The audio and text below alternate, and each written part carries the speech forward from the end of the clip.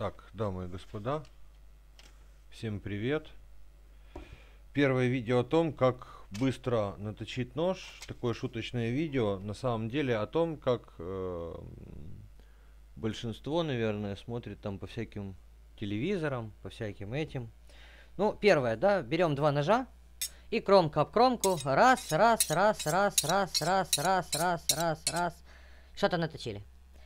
А, почему так делать нельзя. Во-первых, ну, вот это, в частности, вот эти стальки, вот у этих ножей, они хрупкие. И таким видом, таким вариантом, мало того, что вы ничего не наточите, э, вы еще и добьете. Почему э, это показывают в фильмах и откуда это пришло? Когда-то стали были очень простые, термообработки фактически не было такой, как, как мы понимаем на сегодняшний день. И кромки, они просто заминались. То есть вот эта вот режущая кромка, сформированная, причем режущая кромка, она была э, она заминалась, и вот подобным, подобным, то есть если попадать кромка в кромку, то подобными движениями можно было, в общем-то, эти все замины выпрямить и какое-то какой-то еще более или менее рез получить.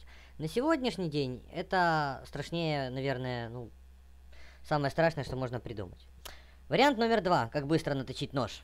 Это мы берем вот такую вот, ну дальше уже думаете, да, то есть вот такая вот Э, ну, в данном случае это из оксида алюминия, такая шарошка. Можно взять точило, можно отдать там, да, заточка за 2 копейки куда-нибудь. Там, в общем, принцип одинаковый. Эта вся штука зажимается в дрель. И как-то там вот такими какими-то, вот такими какими-то там движениями этот нож затачивается. Ну, можно в дрели, да, в дрель зажал, и так жик, жик.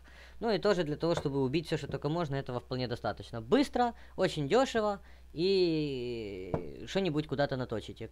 Что после этого произойдет, э, не, не, не суть, но как-то резать будет. Третий вариант, как быстро наточить нож, это такие системы, у меня даже нечего показать, такого не держу. Когда нож э, вот так вот, вот такими вот движениями, да, там ну, вот такая вот хреновина, и вы так вот как-то вставляете, и так только и проводите. Ну, там или колечки какие-то, может быть металлические, может быть не металлические, и вы проводите. Ну, что произойдет? Да, это очень быстро, это замечательно, но, э, во-первых, у вас будет ни, ни, о каком, ни о какой человеческой остроте говорить нельзя. Вот, это первое. И второе, э, говорить о том, что э, подойдет это к многим ножам или там э, к многим сталям, то тоже нельзя, опять же, скорее всего, особенно чем, чем более дорогие ножи у вас, тем, тем страшнее будут последствия от подобных подобных вещей. Вот, все это, э, опять же, э, заточка таким, вот через вот эти вот протяжные системы, э, возможно, когда у вас там тоже нож какой-нибудь китайский за 2 копейки, его не жалко, и, собственно, задача одна, каким-то быстрым образом что-то получить, потому что заточить его по-человечески, э, скажем, получается дольше, нежели он физически может удержать режущую кромку, соответственно, такие приспособления можно использовать.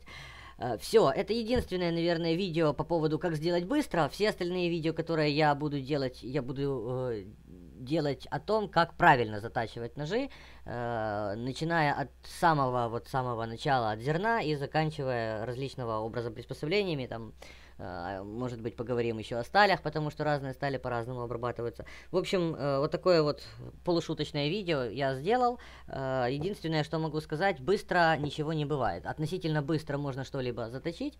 Вот, э, относительно быстро это где-то 2-3 часа времени при правильным, правильных, правильном, скажем, правильных устройствах, правильных руках. И самое главное это понимание. Потому как заточка это на самом деле такая же наука, как и любая другая наука. Ее э, надо бы постичь, и, собственно, все, все встанет в голове на свои места.